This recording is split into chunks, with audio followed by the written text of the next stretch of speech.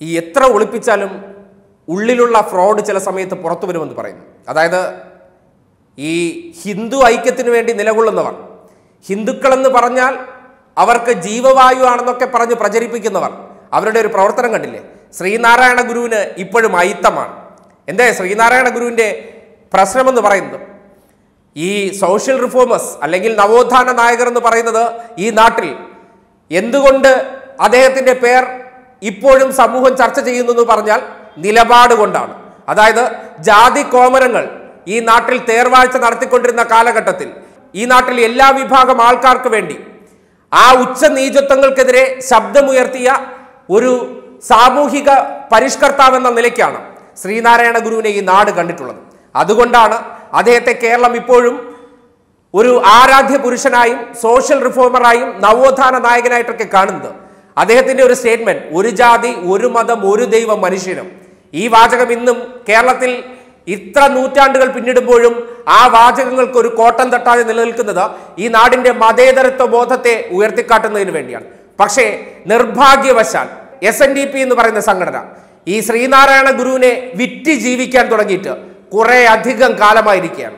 ആ വ്യക്തിയെ എത്രത്തോളം കച്ചവടവൽക്കരിച്ച് നേട്ടമുണ്ടാക്കാൻ പറ്റുമോ എന്ന് വെള്ളാപ്പള്ളിയും വെള്ളാപ്പള്ളിയുടെ മകനായ തുഷാർ വെള്ളാപ്പള്ളിയും കൃത്യമായി ഈ നാടിന്റെ മുന്നിൽ പലകുറി കാട്ടിത്തന്നിട്ടുള്ളതാണ്. അതായത് ഒരു ജാതിയെ കൂട്ടുപിടിച്ച് ഒരു മഹത് വ്യക്തിയെ മറയാക്കി നിർത്തി കുടുംബത്തിന് വേണ്ടി കച്ചവടവും ആ സമുദായത്തിന് വേണ്ടി ഒരുപാട് കിട്ടുന്ന സർക്കാർ ആനുകൂല്യങ്ങളെല്ലാം കൈപ്പറ്റി അവർ തിന്നു വീർത്ത് ഒരു വലിയ മാംസപിണ്ഡങ്ങളായി മാറിയിട്ടുണ്ട്.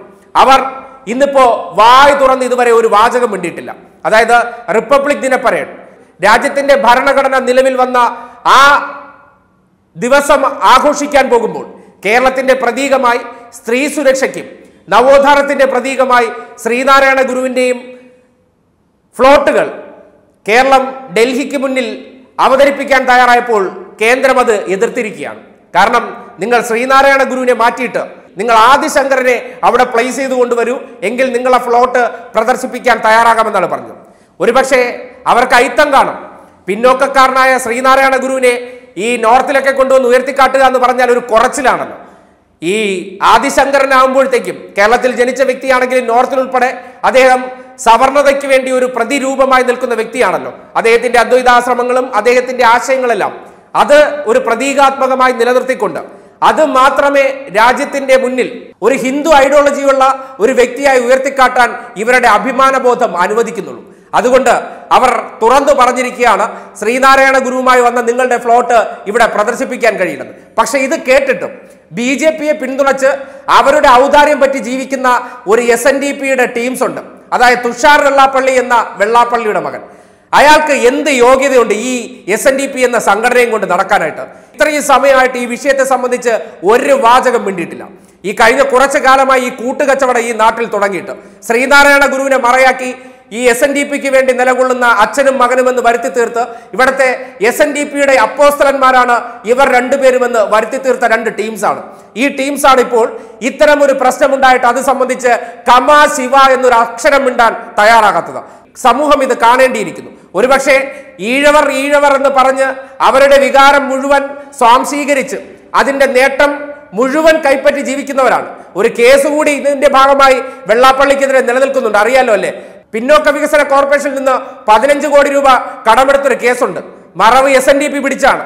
അതിന്റെ കേസ് വിജിലൻസ് അന്വേഷണമൊക്കെ നടന്നത് മറന്നിട്ടില്ലല്ലോ. അതും മറയാക്കി എടുത്തത് ഈ എസ് എൻ ഡി പിയെ തന്നെയാണ്. ആ എസ് എൻ ഡി പിയെയും ശ്രീനാരായണ ഗുരുവിനെ മറപിടിച്ച് ഇത്തരത്തിൽ കട്ട് തിന്നുന്നൊരു പരിപാടി തുടങ്ങിയിട്ട് കുറെ അധികം കാലമായി. നിങ്ങൾ കുറെ ആൾക്കാരെ നിങ്ങൾക്ക് ചുറ്റും വെച്ച് ഒരു തെരഞ്ഞെടുപ്പ് നടത്തി കുറെ കാലമായി ഇതിന്റെ തലപ്പത്ത് ഞങ്ങൾ അച്ഛനും മകനും എന്റെ ഭാര്യയുമാണ്. ഇപ്പോൾ ശ്രീനാരായണ ഗുരുവിന്റെ പടം താഴെയും വെള്ളാപ്പള്ളി സപ്തതി മന്ദിരം ഭാര്യയുടെ പേരിൽ മന്ദിരം മകന്റെ പേരിൽ മന്ദിരം ഇത്തരത്തിലുള്ള പരിപാടികളൊക്കെയും കച്ചവടവും തുടങ്ങിയിട്ട് കുറച്ചധികം കാലമായി. ഇനി ഇതങ്ങോട്ട് നടത്തിക്കൊണ്ട് പോകാമെന്ന് ഈ കുടുംബം അങ്ങോട്ട് വിചാരിക്കേണ്ട. നിങ്ങൾക്ക് ശ്രീനാരായണ ഗുരുവല്ല പ്രശ്നമെന്ന് ഇപ്പോൾ ബോധ്യപ്പെട്ടിട്ടുണ്ട്. അച്ഛനും മകനും അവരുടെ കുടുംബത്തിനും അവരുടെ നിലനിൽപ്പിനും വേണ്ടി. മകനെ ബി ജെ പി രാഷ്ട്രീയത്തോടൊപ്പം വിട്ടിട്ട് അച്ഛൻ ഇവിടെ സി പി എമ്മിന്റെ ഭാഗമായി നിൽക്കുന്നു എന്ന് വരുത്തി തീർക്കുന്ന ഒരു പൊതു ശൈലിയുണ്ട്. ഈ കാപട്യമൊന്നും ആർക്കും മനസ്സിലാകില്ല എന്ന് നിങ്ങൾ കരുതരുത്. കണ്ണടച്ച് പാൽ കുടിക്കുന്നതുകൊണ്ട് പൂച്ചയ്ക്കൊരു തോന്നലുണ്ട്. എന്നെ ആരും കാണുന്നില്ല. ഞാൻ ഇത് അങ്ങോട്ട് കട്ട് കുടിക്കുകയാണെന്ന് വിചാരിക്കുന്നുണ്ട്. പക്ഷേ ഈ സമൂഹം ഇത് മനസ്സിലാക്കുന്നു. അത് തുറന്നു പറയാൻ പറ്റിയ ഒരു അവസരമാണ് ഇപ്പോൾ നിങ്ങൾ തന്നെ കൊണ്ടുവന്നിരിക്കുന്ന ഈ ഒരു അവസരം എന്ന് പറയുന്നത്. ശിവഗിരി മഠം ഉൾപ്പെടെയുള്ളവർ ഇതിൽ ഉത്കണ്ഠ രേഖപ്പെടുത്തിയിട്ടുണ്ട്. നിങ്ങൾക്കൊരു വാചകം പറയാൻ പറ്റുന്നില്ല. കാര്യം നിങ്ങൾ ബി ജെ പിയുടെ ഭാഗമായി നിൽക്കുന്നവരാണ്.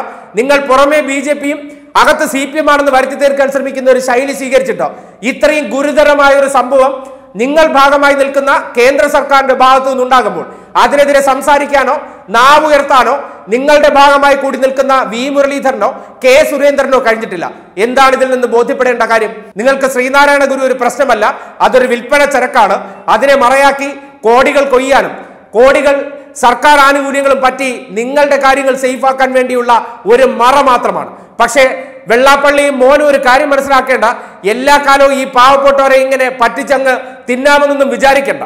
നിങ്ങൾക്ക് ഈ ചെയ്യുന്ന കൊള്ളരുതായ്മയ്ക്കുള്ള തിരിച്ചടി വരും കാലങ്ങളിൽ വരാൻ പോവുകയാണ്.